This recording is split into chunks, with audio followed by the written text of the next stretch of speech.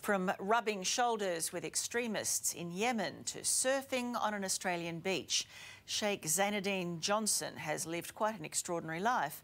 Now he's been appointed as an imam, similar to a parish priest, hoping he can help change perceptions of Islam and make Australia a safer place.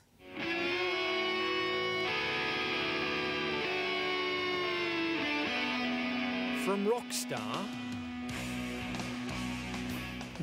we were we were living the rock and roll lifestyle. to the surfing imam. Yeah, stoked.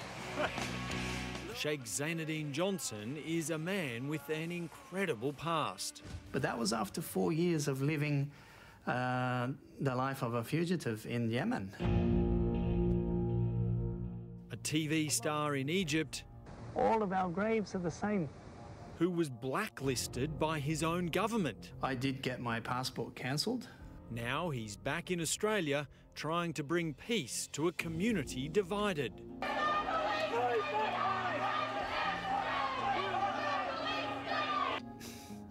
They're not interested in uh, trying to hurt you. With a hope to stop radicalisation in its tracks. I mean, hatred is a very dangerous thing.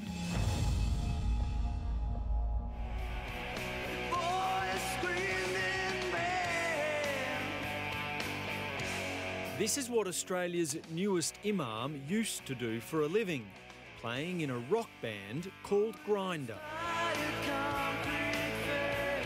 He's the long haired bass player on the right, nicknamed Zonk, who loved his footy as much as his parties. I think everyone has their idea of what it's like backstage. Yeah, it's pretty true. You know, we were the boys. I mean, we'd go surfing, um, play the music. At their peak in the late 90s, they played as a support act for Powderfinger. A lot of parties and alcohol, drugs. Well, of course. I mean, uh, you know, just like everybody else, I think.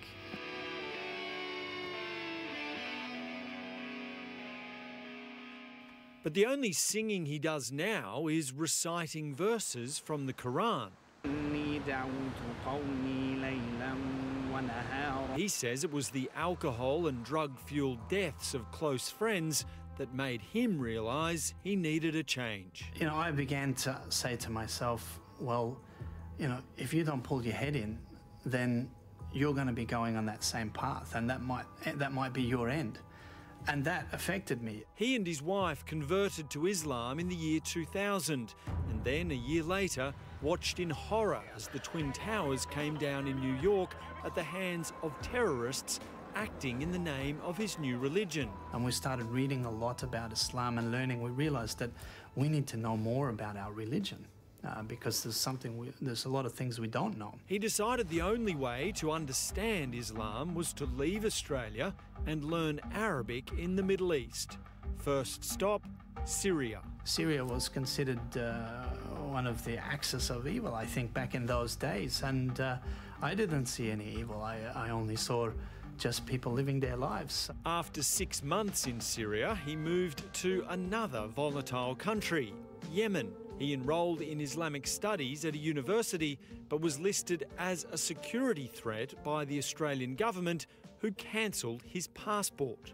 When the appeal came, we were supposed to see evidence, and there was no evidence. I mean, there was no evidence. WikiLeaks unearthed a confidential Australian diplomatic cable which recommended Zine Johnson be placed on a no fly list due to his association with radical cleric Anwar al Awlaki, an Al Qaeda recruiter based in Yemen who would eventually be killed by a US drone strike. The death of al Awlaki marks another significant milestone in the broader effort to defeat Al Qaeda. Sheikh Zainuddin says his only contact with Al Awlaki was one phone call about a classmate's divorce. He, he, had called me and we discussed that. And that's the only dealings I had um, with Anwar Awlaki himself. Four years later, Sheikh Zainuddin says an ASIO officer arranged a meeting with him in Yemen, telling him he should reapply for his passport.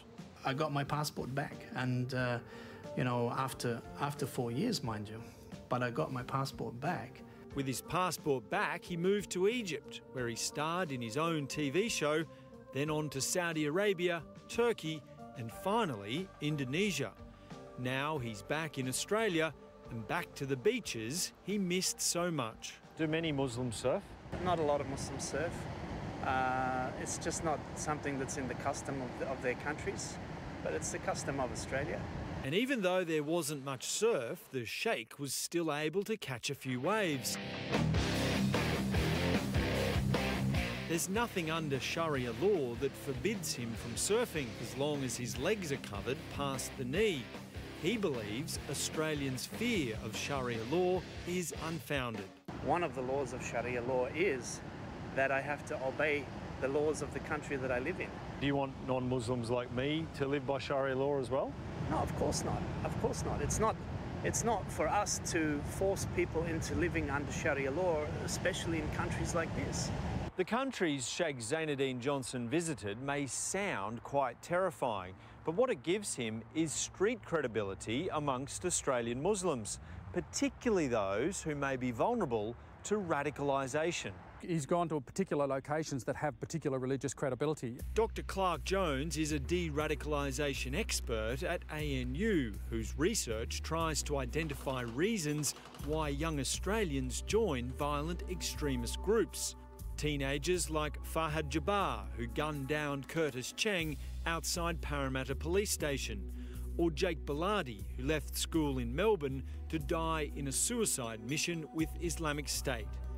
Dr. Jones says Sheikh Zainuddin is part of the solution, not part of the problem. Certainly part of the solution. I mean, we, uh, we need all hands on deck, definitely. He may be useful in uh, de-radicalisation or intervention attempts for uh, young people that might um, get involved in radicalisations. Sheikh Zainuddin says he's used to playing a role in preventing Muslims from turning towards violent extremism. I have been doing it for the past 10 years, not for any other reason except that it's my duty.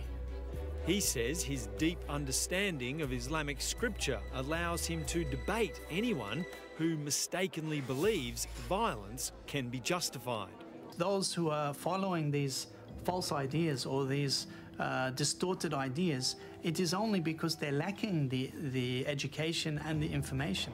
I'm able to debate them using the books of Islam, not using my own uh, intellect. Sheikh Zainuddin has been appointed as Imam or leader of the Muslim community on Queensland's Sunshine Coast, where his love of surfing has already impressed locals. Yes, definitely, because it's integrating into the Australian way of life, isn't it? I think a lot of our worry, isn't it, is that we don't understand the religion. Know, and I think if we can um, bring some more understanding between two different religions and cultures, I think that's probably a good thing. Once you go to a mosque and meet a Muslim and you sit down and you talk to them, you realize that these people are just normal people living their lives, just like you and I. Sheikh Zainuddin is currently living with his mum whilst arranging his own accommodation. She's not religious but tells us she's very proud of her son.